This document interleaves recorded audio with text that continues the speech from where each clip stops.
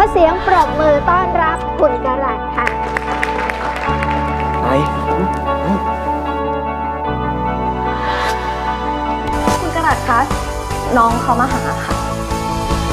พี่ไม่เข้าใจเราจะมาวุ่นวายอะไรกับพี่นักหนาเนี่ยฮะ ผมผมมายื่นเอกสารฝึกงานครับ กินอะไรไหมยัง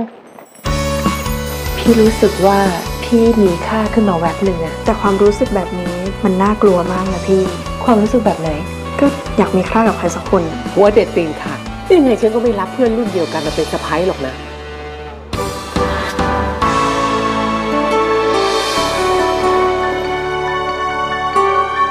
ลูกของผมกับลูกของพี่มันก็ดาวดวงเดียวกันนั่นแหละครับ ไม่ใช่ เธอกับพี่มันอยู่เป็นคนละโลกเข้าใจป่ะ